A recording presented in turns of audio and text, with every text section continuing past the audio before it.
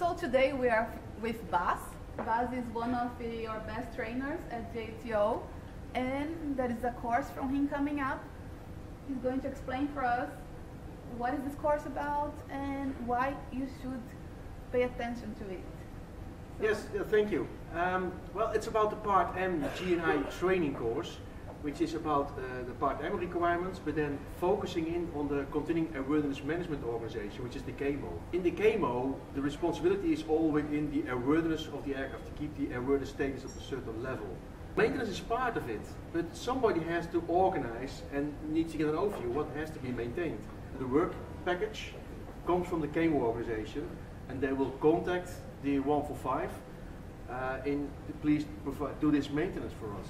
And your so course is bringing, bringing the regulation that uh, the professionals need to know in order to perform yeah, well in yeah. this.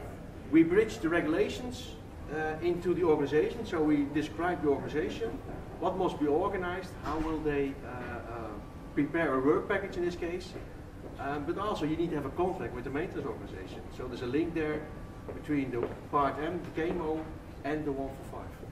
So what can the students expect? What can they prepare? Well, pre prepare, it would, be useful if they know the regulations, how it's organized. So where are the easy access rules from EASA, for example, on continuing airworthiness. The other thing, uh, it's helpful if they know how it's built up. But then again, we explain it in the training course. Perfect. We'll go through the requirements, we describe the CAMO organization, and we even include airworthiness review in there, which is also part of the Part M CAMO organization. Wow, you, you take them by the hand. That's what we try. Amazing. And we finish with an exercise where they actually apply what we've discussed previous days, where they actually do a review. That's the intention at least.